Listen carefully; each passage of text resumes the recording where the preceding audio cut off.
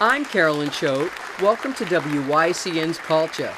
This week's program is international in flavor, as world acclaimed Canadian accordion virtuoso Alexander Sevastian, a native of Belarus, delights the Electric Earth concert audience in Keene's congregation Ahavas Achim with traditional Russian classics and not so traditional selections. Both will astound you.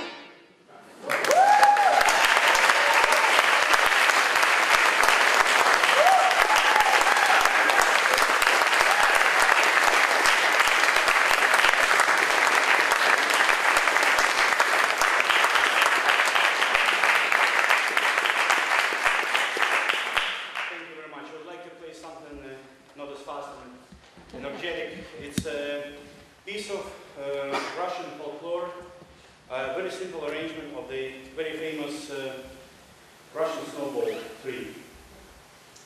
I hope you will enjoy it.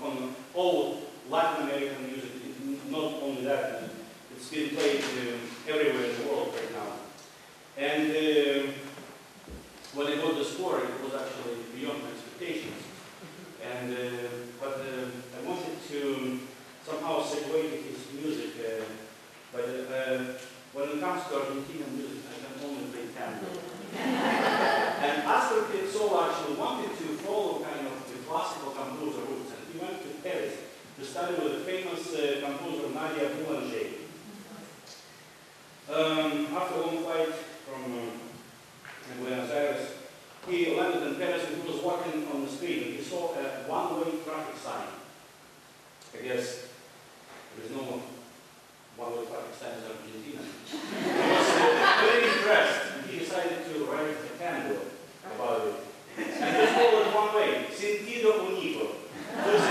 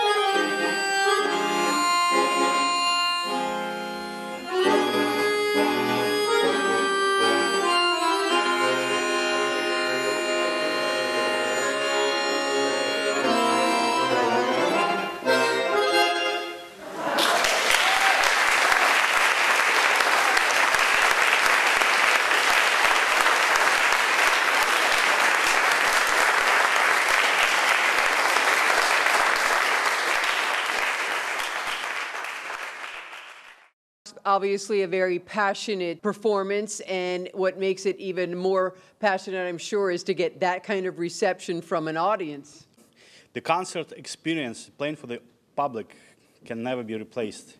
With like no practice, you can play great in the empty hall, and it never get the same response. So it motivates the energy from the people, from the listeners, makes you play better it's almost a part of you, part of your body, another arm or another leg.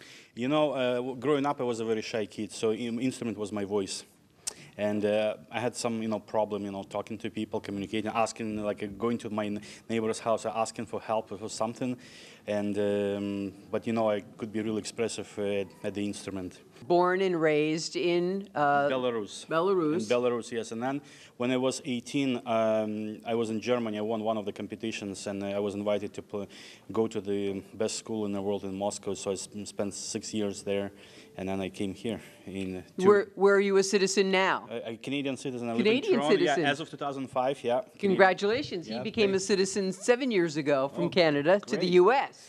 Yeah, well, I, am Canada is enough for me. I don't want to go any farther like the United uh, Getting back to the fact that you grew up uh, surrounded by so many great Russian composers that the appreciation for them, do you find that interesting and fascinating that Western culture also recognizes and appreciates them uh, as much as your fellow countrymen?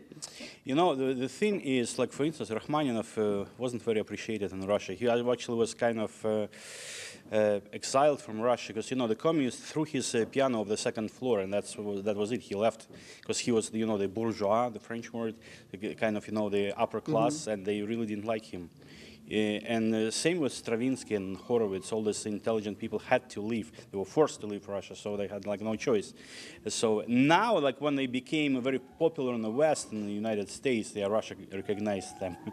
but I, I was uh, fascinated by the Russian music and uh, uh, you know Russian composers. So it's a big chunk uh, uh, in my repertoire, Russian music.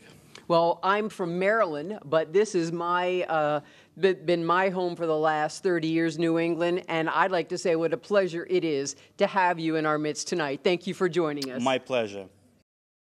When Piazzolla became quite popular, he was uh, uh, invited, uh, offered a job to write the music uh, soundtrack to Last Tango in Paris. But he was too busy and he um, had to decline that offer. And the second time he was um, approached by the, I believe it was uh, Grand Ballet of Paris, France, and to write like a short uh, piece for the ballet. And he had no time, and, but you know, the producer really liked him. So he wrote something like in two, three hours and he kind of threw it away. so he, uh, it's gonna last one day and. And now he didn't die. One of his most famous standards, Libertango.